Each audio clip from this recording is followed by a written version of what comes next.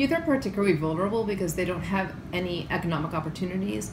They lack educational opportunities and they lack legal activities to give them uh, hope for their futures. So the legal legal groups know that they are vulnerable to utilizing them and um, acting as parts of their illegal crime, of their narco trafficking uh, structures, and it's easy to lure them into the into becoming a member of their groups. So they offer them a cell phone, they offer them a motorcycle, and all of a sudden their group is expanding. Right now, the illegal armed groups, unfortunately, are expanding in post-conflict, and they're looking to uh, grow in number. So they look to these youth as easy targets, and they're vulnerable because they haven't had enough opportunity um, to promote peace and promote illicit activities.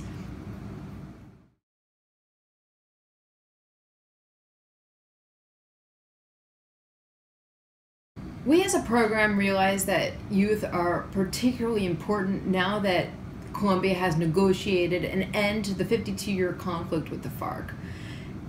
Youth have had all have only known violence, but in the framework of conflict.